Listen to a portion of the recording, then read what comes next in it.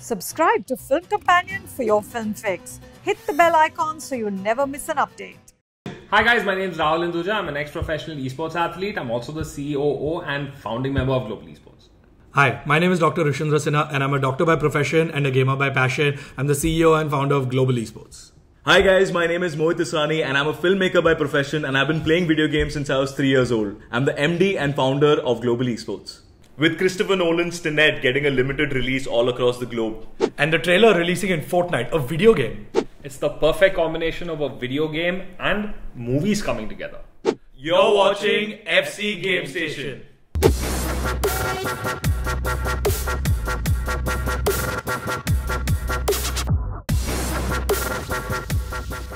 I, I think it's not limited to just playing the video game. There is there's so much more when you talk about the gaming and the esports industry. I think now there's so many uh, career opportunities. You can be a player now. The world of esports, when we talk about like the world of video games is a larger subset, but then when you talk about esports, it Right. becomes a lot more niche where you have the athletes and you have the entire ecosystem, the competitive ecosystem where there's millions of dollars being paid out to people to play video games. Right, It's, so- it's so another like- world out there. Tell me more about that You could like draw parallels with how esports is with regards to sports. Right. It's the closest parallel you could draw. There's Right. coaches, there's analysts, there's commentators, there's broadcasters.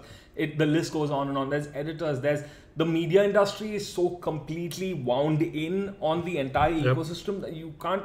Right now, it's the the lines are just so blurred. Right. Yeah, and the reason I asked him that question is because you've been on the World Cup stage and played and represented India as well, Right, right? right, right.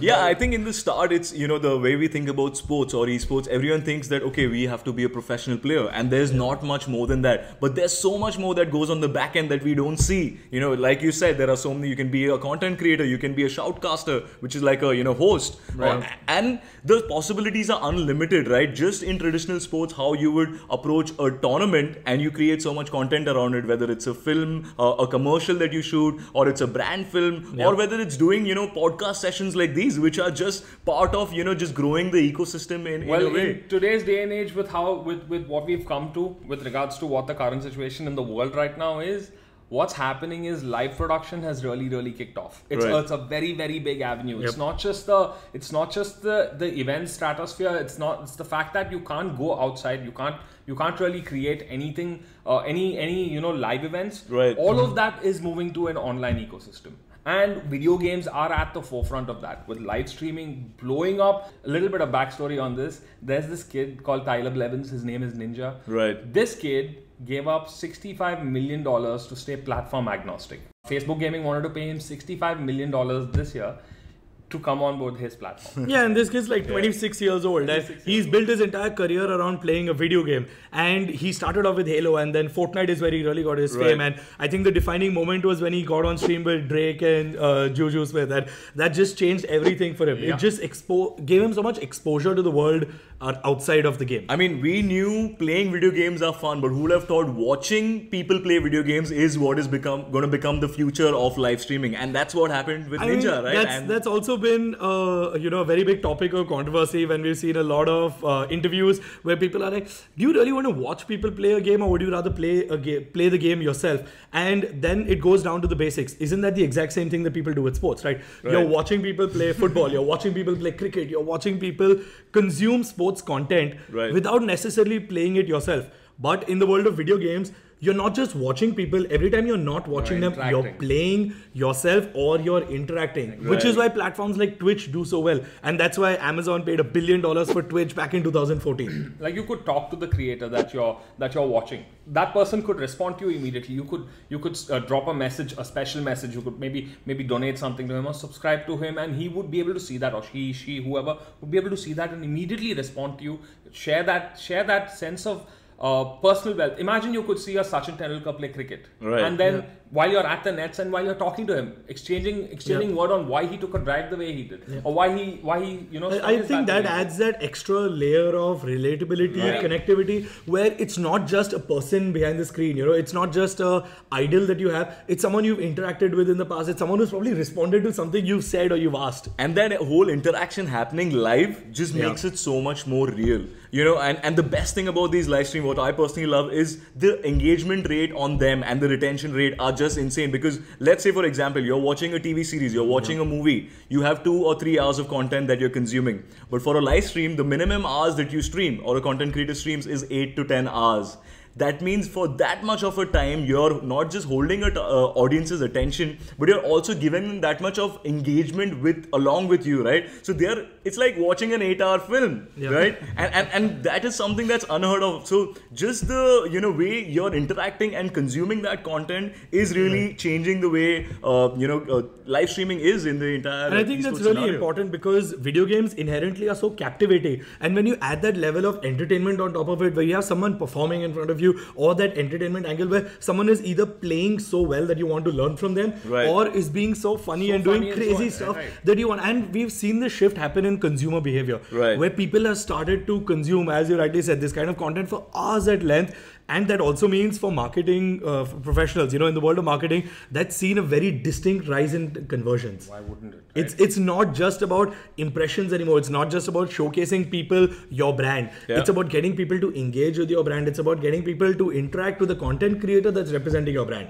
and it's not just it's not just abroad that all of this is happening that's something i really want to you know touch base on because Right, right. in a, in a country like india in today's day and age a game like pubg mobile oh. and what it's done Oh. You have opened Pandora's box, my friend. You've opened Pandora's a game like PUBG Mobile and what it's done for the entire gaming ecosystem within India. With Right. content creators like Mortal and Scout, these guys sitting at I think Mortal hit six million followers today. Six million people. wow I mean, th- those are numbers that are hard to fathom for watching a kid play video games, right? These were numbers that someone was told these numbers a few years ago, they would scoff and they would laugh, but this is today's reality. This is where we are at. And when you talk about a game like PUBG, just in the last six months, we've seen 25 million new users just in India. and it's it's not just playing the game or watching content around them, it's even tournaments. So in the past six months, there have been almost two crore worth of tournaments that have been hosted in India. That means there was two crore rupees paid out to people to play this game. So that's on the competitive front where everyone's fighting for that prize money. But on the other side, where you're creating content, you have so many people who are building an entire social media presence and they become like a you know share of voice for the entire community. Because you're connecting real time, you're just building that following, and everything that you're creating using the game is being consumed by this you know audience. Yeah, initially, uh, sorry, initially when these game creators came on, they started becoming micro influencers. But as you rightly said, Mortal being at 6 million, Scout close to his 3 million mark. We have content creators like Dynamo at 8.5 million, and then you have Total Gaming more than 10 million. All these guys are no longer micro influencers, right? You these can't call guys, them micro, right? these guys are macro. Yeah. it's, it's as big as it gets. Like, let's draw one more parallel, okay? Yep. And this one's again, I'm sorry to open Pandora's box, but this one. you, you keep doing this, man, and I'm going to keep getting sucked deeper into this web, but go for it. So, three months ago, Mortal collaborated with Tiger Shroff for Call of Duty Mobile. Call of, Call of Duty. That is Mobile. correct, yeah. Prior to that, there was a collaboration, I believe, with the movie Uri, with, with PUBG Mobile. Yep. Yes. Within the next six months, where do you see this go, Mohit? I, I'd like to hear. Where do you see? I mean, the next big thing could be, you know, it merging with Hollywood and, and cinema in general. I mean, we all know the greatest content creator out there, uh, Dr. Disrespect, did his collab with Scout. And you saw the kind of show he put Oh. up. For me, honestly, the way I see gaming in general is about that, sh- you know, show uh, show business. It's exactly translated to show business and how you put up an entertainment act as movies is. So I wouldn't really define what this medium is right now because it's evolving so fast and so uh, you know rapidly that people are not able to fathom what it's going to be. So I'm just excited being a part of this journey and every day contributing to what it could become. Yeah, I think really, uh, really nice that you touched upon the fact of Hollywood and you mentioned Tiger Shroff and the other thing.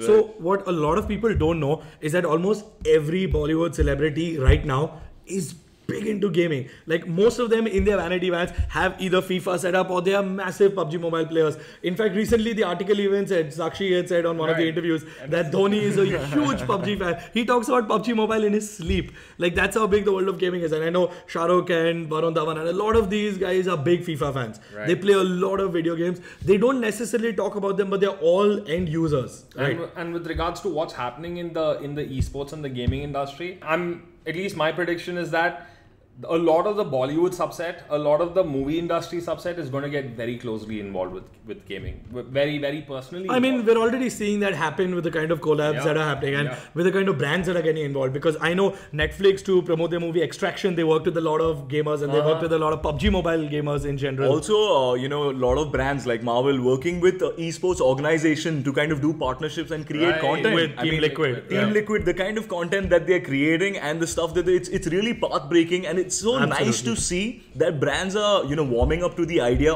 of being involved in esports and gaming uh, just the way they would in the film industry and, and that's and- just amazing. And it's not just like Marvel partnering up with Team Liquid, right? It's Disney investing in their parent company, Axiomatic Gaming, to become really ingrained and involved on a grassroots level with the uh, with Team Liquid and growing esports at the point where they see the collision of entertainment, they see the collision of movies, of uh, of music, of TV shows, and all of that put together in the world of gaming just adds a beautiful, beautiful uh, end result.